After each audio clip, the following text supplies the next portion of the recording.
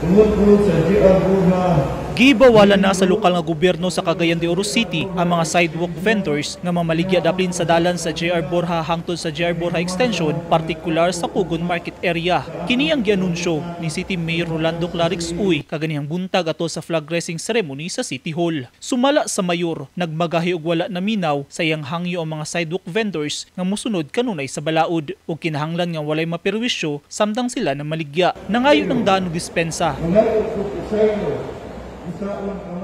ug pagsabot si Mayor Uy sa katawhan nga iya nagyun ipatuman ang balaod nga nagdili sa mga street vendors nga makapabaligya dapin sa dalan aron dili makahasol sa mga tao ug lumalabay sa lugar.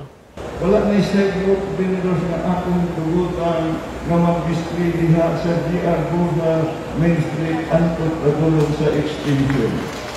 Mangayo po ko sa iyo, kay naay kinukuba kung aduna ko'y balaod nga akong pagasundol og labaw sa tanan ang paghatag o panagkahigayunan sa mga tao nga labi nang nagreklamo nga unta ritagaan nato sa higayon. Mangayo po ko sa iyo, isaon ka man nga nga kong ihatag na higayon, wala nga taga-ay pili.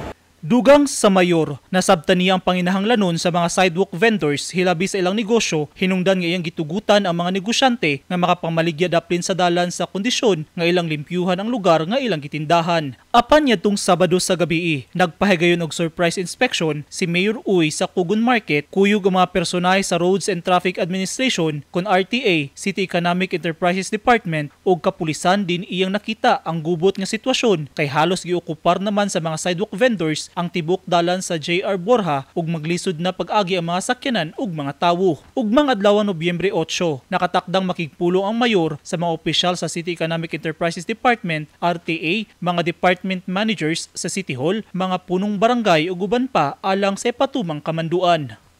Eugene Hinutan, Newsline Philippines. Stay safe.